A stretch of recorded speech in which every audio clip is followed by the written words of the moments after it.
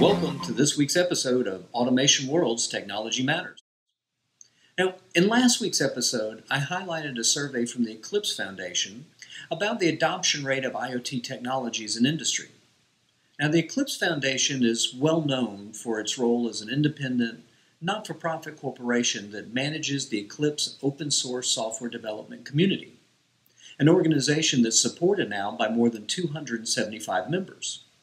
Now, for many people in industry, open source software remains a bit of an enigma when it comes to its use in production operations. Now, as sketchy as open source software may sound to an uninitiated user, the reality is that open source software is not only being applied by larger numbers of manufacturers, it's also being integrated into the technologies created by automation suppliers. To learn more about this, we connected with Benson Hougland and Terry Orchard of Opto22 for an episode of Automation World Get Your Questions Answered podcast series. Now, according to Benson, Opto's position on open source software for industrial use is that they're huge proponents. We embrace it, he said.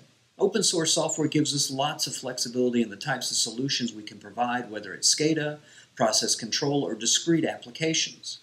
He added that Opto22 makes extensive use of open source technology in its products. For example, in groov EPIC, Opto22's new edge programmable industrial controller. Now, Benson also explained that the industrial market isn't so much demanding that companies like Opto22 offer open source software, but that they're demanding new and exciting technologies to address a number of problems in automation, particularly in SCADA communications, he said. Now, the bottom line with open source software for industrial use is that assessing it properly comes down to research, just like with commercial applications. Benson said that with open source technologies, the difference is where the information comes from. It won't come from the vendor embedding the technology. It'll come from the open source community, such as Tango, Sardina Systems, OpenSCADA, and RapidSCADA. Benson advises visiting their websites to figure out which open source kits are the most successful and are being continually supported. He said to look for the last activity on their forum or when the last build was made so that you can get a feel for the longevity of the organization behind the software and their support for the package. To learn more, check out the podcast via the URL shown below. And next, we'll look at the HMI upgrade recently done at Bardstown Bourbon Company, a producer of whiskeys and bourbons in Bardstown, Kentucky.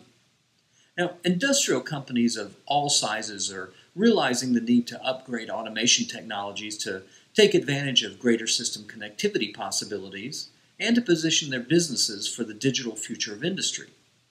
And while such upgrades may seem daunting, it's important to realize that a digital transformation doesn't have to be tackled all at once. Bardstown Bourbon's example is a good one to follow, as they first focused on upgrading their HMIs as a key starting point for their digital transformation. And Bardstown Bourbon's production equipment includes two mash cookers, 32 fermenters, two distillation stills, and nine cistern holding tanks. The company's previous HMI system had limited flexibility in terms of data collection, process history, and licensing. So the company began looking for a replacement system that would address those issues, but also allow for the creation of a system architecture that could adapt to the company's changing needs. Now, after reviewing several options, Bardstown Bourbon chose Inductive Automation's Ignition platform because it provides a way to communicate with the company's ERP system. Now, this connection enables Bardstown Bourbon to present operators with a work order request web page driven by the ERP system without requiring them to load a separate application. Ignition also enabled Bardstown Bourbon to implement a custom batch tracking system and deliver HMI data to mobile devices using Ignition's Perspective module. Now, Roger Henley, Bardstown Bourbon's plant engineer, said the new HMI system leverages a much greater amount of historical data on all control points in the system, which allows plant leadership to make more informed decisions. The project also benefits from being centralized, as project modifications are published immediately to all client stations and data are easily accessible by plant personnel based on user permissions. Now, this centralized approach has allowed Bardstown Bourbon to collect, store, and review their batch data and recipe data consistently. Henley said, The ability to historize an unlimited number of data points has changed the way we do business and make decisions. You can learn more about what Bardstown Bourbon gained from its new HMI system and how they use the new software to extend visibility of HMI data on mobile devices via the URL shown. Finally, let's take a look at how the application of connected sensors to gather equipment data as part of Industry 4.0 and Industrial Internet of Things initiatives is now being applied to industrial workers to improve their safety. An example of this is StrongArm Technologies' Fuse sensor and platform which is an industrial grade, lightweight IoT device designed to capture a worker's movement data. Worn by the worker, the sensor takes readings 12 and a half times per second, which translates to around 300,000 times during an 8 hour shift. Data collected by each Fuse device uploads to the cloud, where the Fuse platform's proprietary machine learning algorithm analyzes the wearer's risk of musculoskeletal injuries. Now, in terms of how data captured by the Fuse sensor translates into corrective measures for workers, Michael Kim of StrongArm Technologies said the data allows us to really take an in depth look at various trends and anomalies in the data.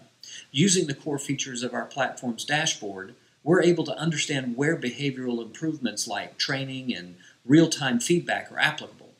We're also able to identify areas that require improvement and show where engineering controls or physical constraints may need to be implemented. Now, since its initial release in 2017, StrongArm Technology says the Fuse sensor has been installed more than 100 times and received the Best Invention Award from Time Magazine in 2018. To learn more about this sensor, visit the URL shown. So, I hope you enjoyed this Technology Matters episode and that you'll check out these and other posts at automationworld.com. And if you haven't yet subscribed to our channel, Please do so by clicking on the AWTV logo on the bottom right hand side of your screen and tell your coworkers to please do the same. That way, we'll be able to add more interactive features to our content here on the Automation World TV channel. And keep checking back in with us here as we'll be posting new videos regularly. So we'll see you soon with the next installment of Automation World's Technology Matters.